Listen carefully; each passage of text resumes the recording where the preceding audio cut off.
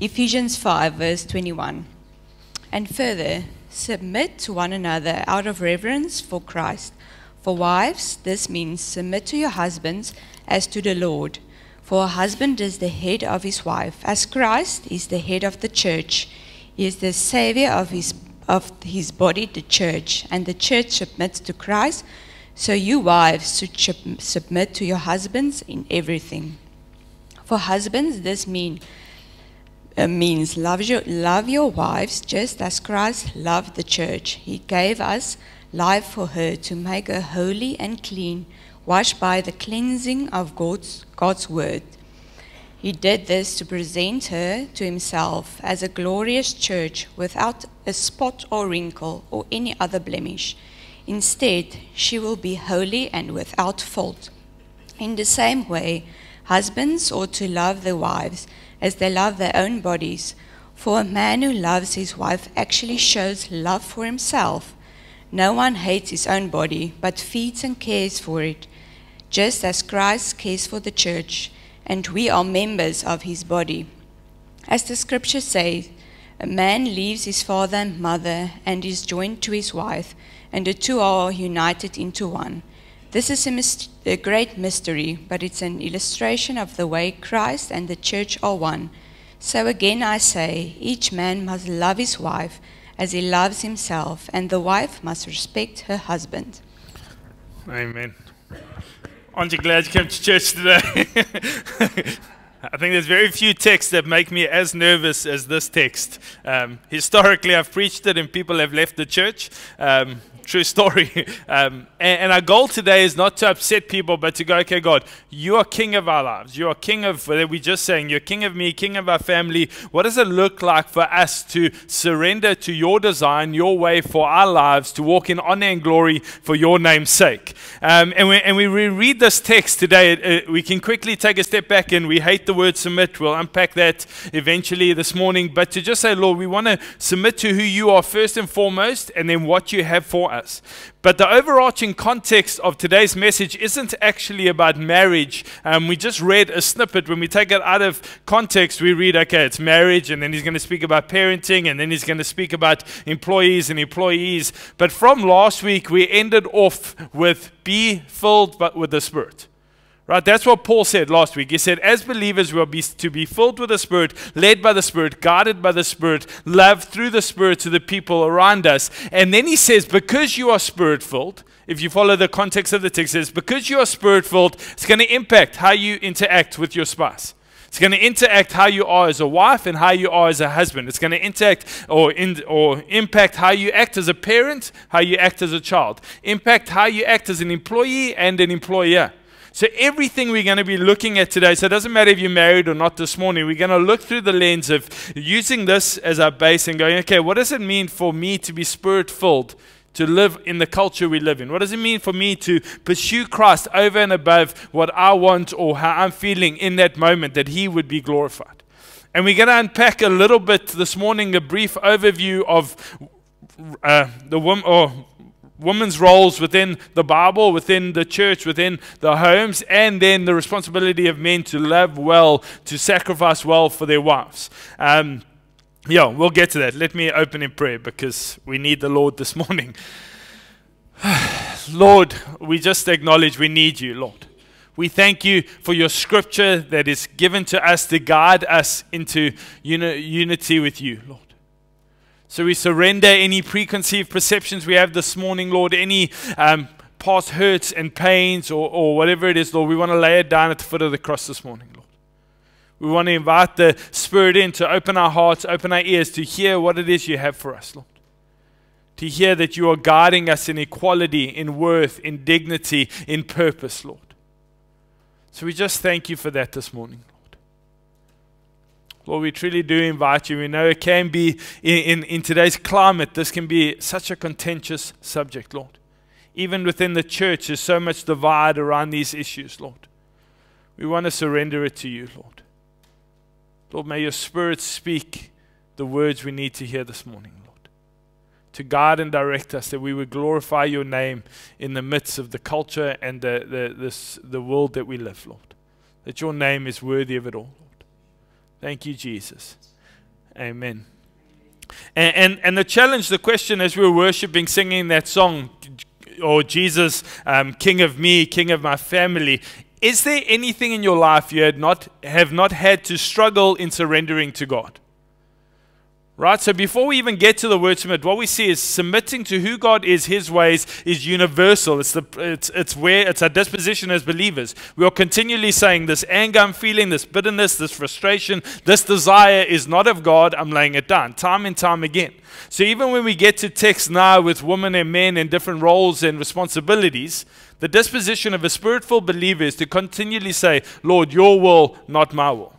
Am I right or wrong? We're with us. So keep that as the overarching theme. That's what Paul's trying to get to. That is a design for us that God wants us to walk in that produces joy. And, and yeah, Chuck Swindoll says of this text, it should come with a big sign that says, Beware, dragons dwell here. because we need to approach it gently. We need to try approach it sensitively because people have been abused because of this text. People have been hurt and betrayed because of this text. Historically, the church has landed on the wrong side of this text time and time again when they silence the abused and they empower the abusers because that is what it means to be a godly man. And, and, we're going to speak about that this morning and call out abuse where the church has wrongly enforced um, the silence of women at their own well or own health and, and well-being. And, and like I've said, in today's society, gender roles is a huge discussion that leads to many leaving churches, many fights within. And in the Bible, we get closed handed issues. That's the, that's the, the personhood of Christ, the, the, the goodness of Christ, the Trinity, the full life, death, and resurrection of Christ. Those are closed handed issues. Universally, every church and believer believes those things. And that's why the deconstructive faith movement that we've been looking at the last couple of weeks, or just alluding to, those go after core doctrinal beliefs. That's why it's so dangerous within the church. But then you get open handed issues um, within the church, whether that would be tongues or the role of women within the church or whatever those are. Those are areas in which we, need to be very charitable and gracious when we discuss them. It means that we can disagree completely on those issues, but for, the, for Christ's namesake, for the unity of believers, we still work together and walk together as one. I have friends that are radically different on, on today's teaching, um, but we're still friends. We still wrestle through the text. We, are people of the Word, so we go to the Word and we try to say, God, what is it that you're guiding and directing us from? And that's why today is way more of a teaching sermon than a preaching sermon, but there will be preaching interlaced with it because I'm more of a preacher than a teacher. Um, but, but we want to go, Lord, what does it mean for us as a church to surrender to your Word? And before we get into it, I want to say I don't believe today is a salvation issue. So if you disagree with me on today's text, it's not a salvation issue. I don't believe it's a false teaching issue. I believe it's an interpretation issue. So if anything I say today doesn't sit well with you, it upsets you, it makes you want to leave the church, please come speak to me. I will even pay for the coffee. We, we, we can just chat and sit down and work through this text together. And, and so, and, and within those open handed issues, there's distinctives that make up a church. So, what are one of the key distinctives of Jeffreys Bay Baptist Church that makes us us? And I, and I borrowed a, a graph from the village church. There it is. Um, who borrowed it from another church. So churches just like to borrow things. But we see this, this four spheres um, within our interpretation of Scripture of what it means of women's roles within the church, women's roles within the household, and how we function by design. Also, within those things, the role of men. So, I'm not picking on women this morning, it's the role of men also within the church, within the homes, which we'll probably land on more than, than the woman. I'm just trying to be sensitive, and that's why I probably am overcompensating by speaking to the woman first. And, and, so we see within that you get a biblical framework for all of those things, but on the extreme ends, it's always where abuse and hurt come from.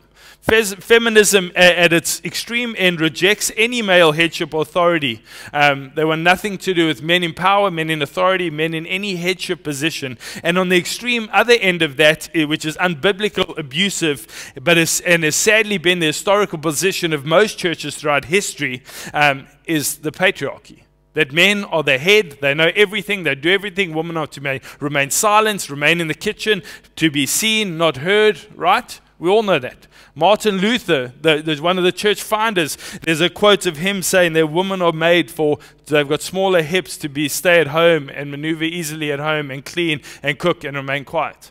That's our church forefathers, right? No one, and that's the quotes we see throughout history that the church has not been right on these things when we go to the extreme end of patriarchy. Right? Then you get elite, these are big, broad strokes here. Um, egalitarianism. Believe men and women are created equal and can have equal roles within marriage and the church body which means there are no unique roles that God has created for man and woman. Everyone just can do anything. Right? Specifically speaking about the role within the home and the role within the church. The Bible has nothing to say about women in powers of business and performance and, and, cult, and culture. Very important. Strictly speaking, today, we're speaking about the, the role of women that they play within the household and the role essentially that they play within the church. Very important. Patriarchy would have us believe that women should not be presidents or CEOs or anything like that. We don't get that from Scripture at all. There's no Scripture, even complementarianism, where we stand. It has more to do with what is the role of men and women within the church. That we believe they are created equal, but and within marriage and the church body, they have a different role. Everything we see from the Trinity everyone is created equal, but there's a unique role that God has for us, and that creates a unity and a blessing that flows from that equal in value, um, but, but different in function. And I'll preference this again by saying that does not equal cleaner, cook, stay at home. We don't get that from Scripture. So much of our understanding of complementarianism or our comp- or understanding of women's roles and husbands' roles comes from culture and tradition and patriarchy and not from Scripture. It's very important that we see this this morning. We're still going to get to those roles of submitting to the husband as head and the husband loving his wife, because that is the biblical role we believe God has called us to. Equal, but different, within context, within culture. But as a church, that's where we, we land. We're complementarianism. We believe that man and woman are created equal. It does not mean men are cleverer. Amen. um, and, and, I love that, that in the garden where, where, where God goes to Adam and says, Let's create you a helper. The deficiency wasn't from the woman, the deficiency was on the man's side that he needed a helper. It's very humbling to us that we see that the position and the job of helper isn't an inferior one, it's actually a superior one in helping and assisting man. Amen. You women should like that one. Men are like, no, hey, this guy doesn't. I think we should find another church. Um, it just gets worse for, you from yeah, men. but but that's where we are. That's what we believe as a church. It's historically what we believe. It's my own personal conviction when I wrestle through Scripture and I fight with Scripture and I and I speak to people that we are complementarians. We believe God created us equal, um, unique, but with unique roles. That when we function in those roles, the the, the kingdom thrives. So let's start by verse 4, verse 21 says this. And further, submit one another out of reverence for Christ. So that is what Paul is saying. Spirit filled living is driven firstly by reverence for Christ. We will not have spirit filled marriages, spirit filled workplaces, or parenting if we do not have a right perspective of who Christ is.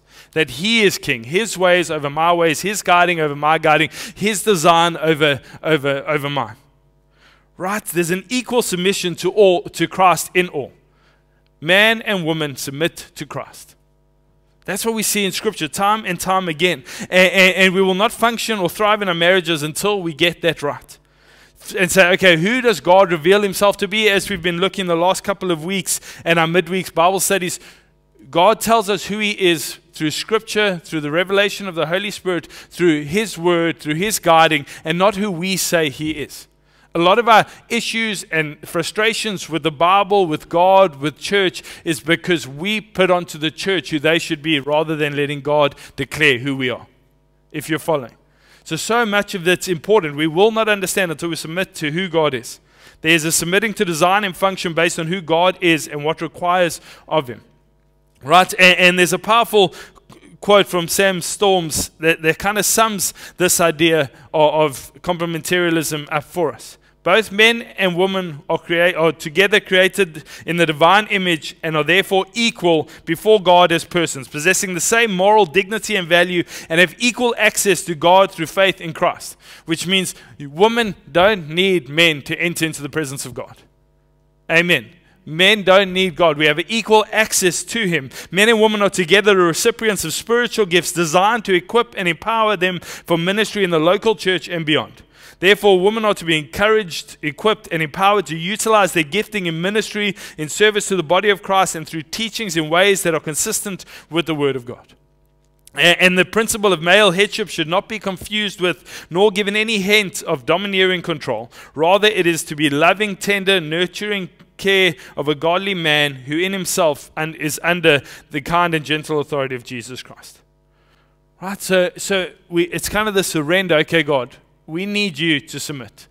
Wives, we need Jesus or, or women uh, or wives specifically, we need God in our lives to be head of our lives, to be king, before we will submit to the position of, of authority that He's given a husband in our lives. And husbands, we need Jesus to help us love our wives for who they are and where they're at in their journey. Amen. Just me. My wife's in Sunday school, so but she, yeah, I need Jesus. We all need Jesus. And, and, and, it's that idea. So, verse 22 For wives, this means submit to your husbands as to the Lord. For a husband is the head of his wife, as Christ is the head of the church. He is the Savior of his body, the church. As the church submits to Christ, so your wives should submit to your husbands in everything. And here's the challenge who likes the word submission? We hate it, right? And the Bible doesn't seem to have a problem with it. We do because of cultural abuse or context that we find ourselves in. Submit is almost forced upon you. You will submit to my will, right? When you're disciplining your children, they will be obedient.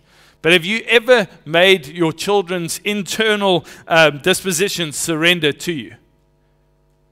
No, you can make their outside surrender, but you cannot make the inside surrender. There needs to be a willful submission of the will before that person.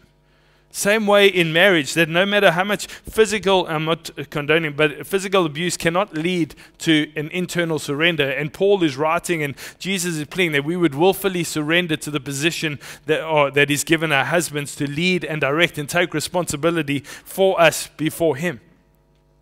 Right? And, and that's the thing. There's negative connotations, and, and the patriarchy throughout history um, has done serious damage, has abused the position that God has given them time and time again. There are very few that are unscathed by abusive headship and, and a misrepresentation of um, who God or those God has placed in charge. And Satan loves to take what God has designed for good and push it to the extremes of decay and destruction, time and time again. And I remember doing a friend's wedding where he was like, my, my best friend's wedding at the time, and he was like, you please do our wedding, just don't use the word submit. like at all. You're not allowed to. And he gave me all these Christian words that were taboo that I wasn't allowed to say. Um, I was like, okay, cool, I'll figure out something else. Um, surrender. but but we, we wrestle through, right? Because we hate the word, but biblically it doesn't mean what it means today. And, and throughout Scripture, all believers are called to submit to God. So we hate the word submit to your husbands, but scripture is quite clear submit to God. And that's why Paul's saying, look, ladies, you may have a heart issue. If you're struggling to submit to your husband, and in that everything isn't everything, if it's unbiblical, against the law, abusive, it's nonsense, call the elders or the police and get them involved. So it's not this kind of your husband has right over your body, it's your husband has right to lead you in the things of God. 100%. But, but it's, a, it's a heart issue saying, well, if you can't respect your husband or submit to your husband in godly matters, how can you submit ultimately to God? Husbands, if we struggle to love our wives, how on earth are we going to love God? If we struggle to lay down our life that we would serve and love and sacrifice our wives for her well being, we're going to struggle to do that with God marriage is seen as a, as a, a, as a, as a tangible covenantal promise of how we are with God. And I guarantee you, those things will play out. When we struggle to love well, we'll struggle to walk in obedience to God. When we struggle to surrender to the position of the, the husband in the household, we will struggle to surrender to who God is in our lives. When He calls us to lay down and surrender to Him. But the word surrender or the word submission comes from a military term um, biblically. So they would have understood being at war and all these things. And it simply means that you willfully respect the rank above you. It means you say, okay, there's a husband or the sergeant, I don't know the ranks of the, the, the army, but the person above you, they're in a higher rank. It doesn't mean they're cleverer. It doesn't mean that anything. It just means they're in a higher rank. And I will willfully surrender and say, okay, I will honor that position because of where you are. And I love that God designs positions and different things based on the, the, his design and not on the person, which is vitally important. It's why, even in surrendering to a husband as headship, you respect the position the same way God says we respect the government, we respect those in authority, we respect those things because it deals with our heart. Spiritual life deals with heart. It's that simple. How is our heart in those things? And it's aligning with those things. And, and, and, we see it all the time. And an individual will submit to the rank above them. It's the same as um, in that, then if your soldiers go and mess around, the sergeant, whoever's in charge of that body of individuals, is responsible before the higher authority. It's the same way we see in the family of God, and this should shake us and scare us a little as men, is that we stand before God responsible for our household's well being, the spiritual climates of our household, the spiritual climate of our wife, not wives, wife, um, is our responsibility before God. There comes with it ex, ex, yeah, this extreme responsibility and privilege to be able to lead and love like God would in that household. It's not about using your power in, in abuse as it has been historically misused. It's about surrendering and saying, God, use me that they would know your hand in marriage. Right? God comes to, back in Genesis, Eve eats the fruit, everything falls apart. Adam's right there choosing to worship the woman instead of God. And, and, we continue that in our culture. We worship women before we even think of God. And after all this falls apart, God comes and walks in and, and he finds Adam. He doesn't go to Eve. And what does he ask of Adam? He said, What have you done? Not tell me what's wrong with your wife. Not tell me why it's difficult to lead. Not tell me X, Y, Z of what's going on around you. Says you are responsible. You carry uh, the mandated responsibility as head. It's the same responsibility as the eldership of the church carries over this body. They carry a responsibility for the spiritual climate of all of you. They're not responsible for your sin. So you, as a wife, can sin. A husband, uh, she's still responsible for her sin, but a husband carries with it the responsibility of it. That's what we see from this text. And, and, and, we see Christian men carry with them responsibility of their households, and, and that really should shake us, men. It should really shake us to our knees in surrender that says we need Jesus. And that's what Paul's getting at you. Ultimately, we all submit to God in His ways. And, and, God values the family unit, and we see culturally, or where men go, the family goes, and ultimately culture goes.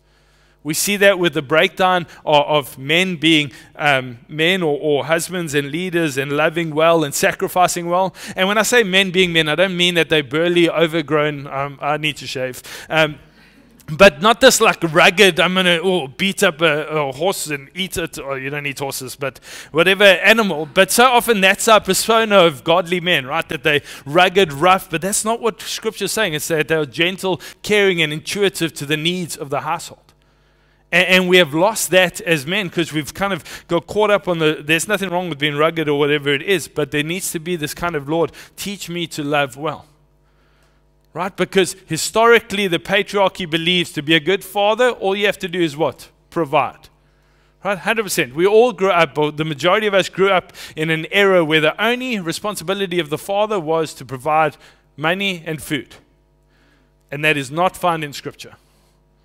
Right? There's no scripture that says go work your life so that you can provide food. It says provide nurture, care, love, tenderness, those things which we have forsaken in the name of patriarchy instead of surrendering to God and saying, This is how I love well. And you know, within the original culture, that's why this wasn't so controversial in the original text. Original culture, women had no rights.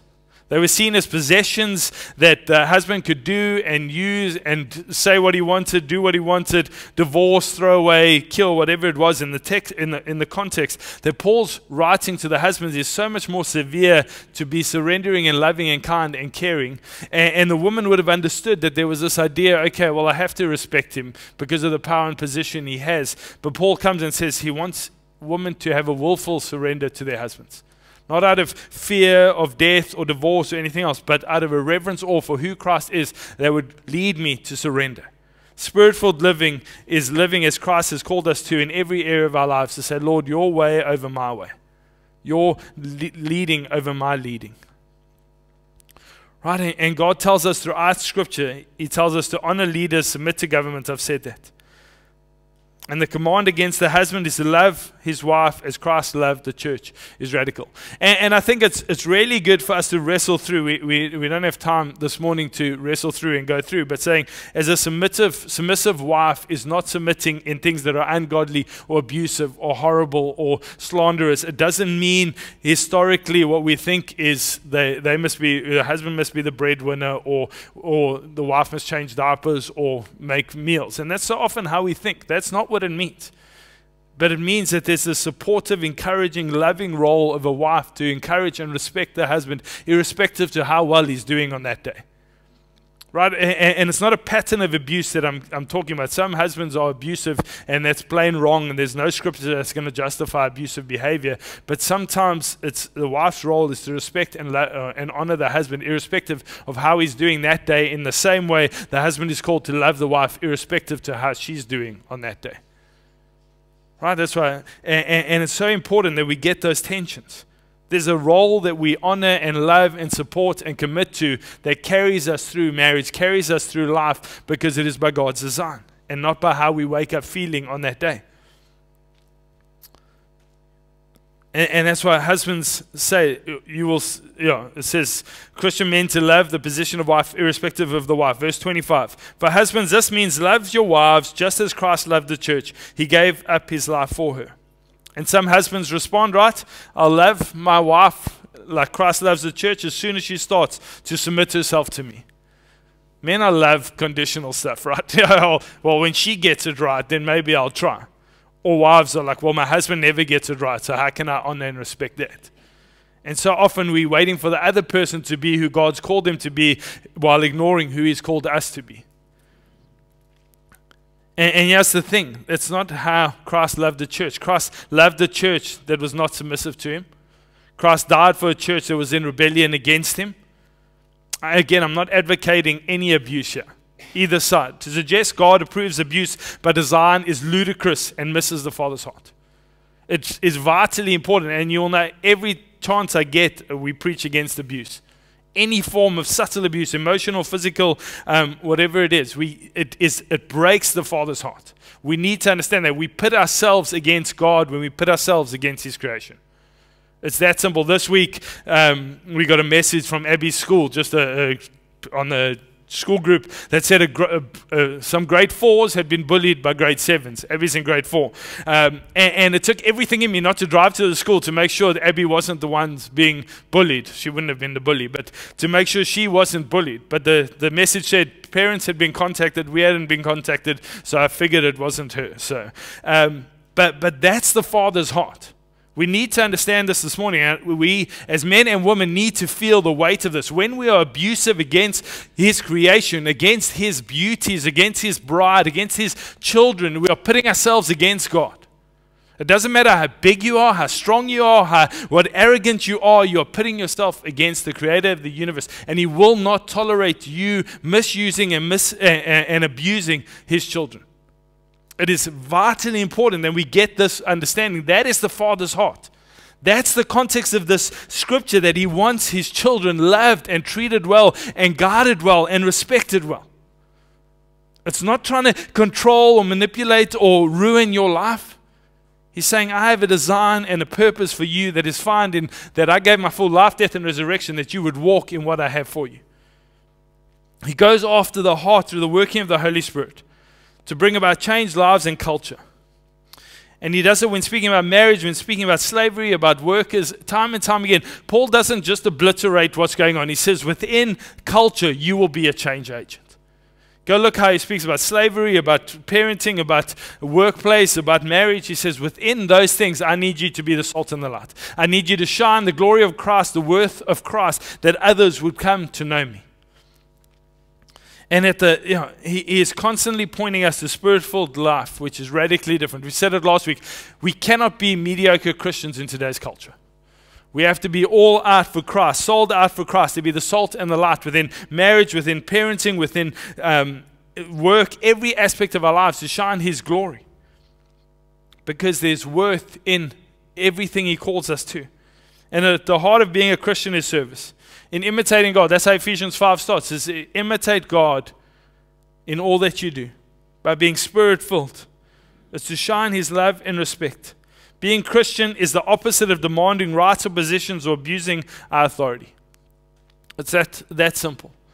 Throughout Scripture, against men and against women, there are things we cannot do. There are things you cannot do that your heart wants to do, if you want to be honest this morning. And, and, and that's where Paul draws limits both on male and female, some within the church, some within the, the, the marriage, some within society, some within the workplace. Time and time again, there's limits. And limits are true for all believers. Right? There's equality across the board. It's true for all believers. We are called to submit areas of our lives to God where we find where we would find true identity, perceived or, or where we find identity, perceived worth. We lay it all down so we can truly know the peace and the love and the goodness of God. Right? We must understand that human value is not dependent on what you can and cannot do. This is vitally important. Human value is not dependent on what you can and cannot do. Otherwise, so much of my self worth is found in what I do, how much I make, how well everyone's doing, all of these things. If human worth is dependent on function, then the handicapped, the ill, the unborn would have no worth whatsoever. And we see this as a great push of culture Right? It's why we, we, we're happy to see where, where freedom of choice over sanctity of life, sanctity of life, the innocent suffer. Rather, by God's grace, we have been freed from thinking of ourselves on the basis of birth, status, wealth, or accomplishments. We are seen as sons and daughters of the Most High God for, for a purpose to, to live it out. And, so, and, and I love that. Something is only worth as much as someone is willing to pay. Right, I, some of my favorite things to, to do is if you check Gumtree or Facebook Marketplace, and there's things that are priced for like like 50,000 rand for a side table because it's from my great grand or whatever it is, right? You cannot put a price on emotion, right? You cannot put a price on emotion. Things are only worth as much as someone is willing to pay. And here's the thing how much are you worth? We look to the cross and say, how much was Christ willing to pay? And, that's the thing we got to focus on this morning is Christ has a plan and a purpose and a worth over you that he did not deem his life or equality with God something to hold on to, but emptied himself to the, to, in the very form of a servant all the way to the cross. How much are you worth? Don't look in the mirror. Don't look at your bank balance. Don't look at, at the things going on around you. Look to the cross. Look to the face of Jesus, the blood that drips down his face, and he says, You are worthy of it all. And, and, and, Paul has given us this, this spirit filled living within the context of marriage for to, to work against our inward hearts, the brokenness of the fall that we see in Genesis. That we would rule over and destroy and abuse women, and, and women would, would attack and fight back against men. It's from the fall we see it. Paul is saying you have worth and you have value to shine the goodness of God says husbands and wives are called to submit to their lives uh, uh or to live out their lives in the home environment. As Jesus is our example. Wives are to submit to their husbands as expression, as a submission to Christ. And Jesus, the Lord, Jesus, the Lord, is the basis, motivation, and qualification for submission. Husbands are to love their wives by sacrificially serving them just as Christ loved them and served the church, giving up his own life for her. That is spirit filled living when we commit to walk empowered by the Spirit of God's design as we love those He places in our lives. And again, as the band comes up, I know I've said a lot this morning. Some will think I'm being far too liberal in what I've preached, others will think I'm being far too narrow minded and conservative. Please speak to me. If anything I've said today really upset you, really confused you, come speak to me. I know it's uh, up and down a bit today, all over with, with the topic. But truly, that we would just surrender to say, God loves us. God sees us. God wants to guide and direct us for His purpose. And we would just lay it down in all things. And that's why, irrespective of where you're at this morning, if you're married, single, divorced, whatever, widowed, whatever it is, God has a plan and a purpose for you. He has a worth for you. Find in who the price He's paid for you. That, that, that, that, that no one would argue that the value of the blood is worthless. So, how much more does Christ value us that he was willing to lay down his life for us? Let me pray. Yes, Lord, we just come before you this morning, Lord, and we know um, you know, sometimes tough to wrestle through biblical viewpoints, biblical text in light of culture, in light of our own hearts and, uh, and pain and understanding, Lord. So we surrender it this morning, Lord. We know there's a, a lot said, um, yeah, a bit all over the show, Lord, but we surrender it to you, Lord. And as we prayed right in the beginning, what needed to be heard by the individuals would be heard through the working of your Spirit, Lord. That your word would not return back void, Lord. We pray, Lord, for every wife that is present here, that you would work in her heart, that she would walk in obedience to you and submit in reverence, or first and foremost to you and respect her husband, Lord. Respect him out of reverence to you, Lord. Again, not in abuse or anything like that, but just to honor, irrespective of how they're doing that day, there would be a level of respect, Lord. In the same way, Lord, we the husbands here would love their wives sacrificially to lay it down time and time again, irrespective of how she's doing that day, Lord. You would teach us to love. And as we both come, as marriages come to, to the party there, Lord, in sacrificial love and, and, um, and respect, Lord, your name would be glorified, Lord. Marriages would thrive, Lord. And ultimately, Lord, we thank you that you love us, Lord. Thank you, Lord, that you have ordained things as a means of protection and love and thriving, Lord. Thank you, Lord, that your scripture teaches that we are siblings, Lord, not subordinates. So that we would honor our, our, our brothers and sisters in the faith, Lord. Who would stand firm for our brothers and sisters in the faith. Lord, for those that have through through this scripture, through um, patriarchy, Lord, been abused, been made to feel worth than, made to feel that they have no value within church, within Christian living, Lord. We pray for a restoration, Lord. We pray for a, a, an igno- a, a reigniting of the gifting and the passions that you've placed on, on, on those people here this morning, Lord. We pray for those, Lord, that have maybe grown up in that time of patriarchy where they missed the mark, Lord. They sinned against their family, they sinned against you ultimately, Lord. That right now, Lord, the enemy wouldn't come with condemnation, Lord, but the Holy Spirit would come with conviction. And we would repent of our sins, Lord. We repent where we have treated women as commodities, Lord, where we have treated our wives as slaves, where we have not honored you, Lord, where we have not served and loved as Christ would, Lord. And Lord, that we, this today wouldn't just be a day of healing and repentance, Lord, it would be a day of restoration, Lord. It would be a day where, where we say, Lord, I'm going to walk in what it is you have for me, for my marriage, for my life, for my, um, for my, for my, for where we're at today, Lord. So we surrender it to you now, Lord. As we sing, we just say, Thank you, Jesus. Thank you, Jesus, that you are at work in our lives. Thank you, Jesus. Amen.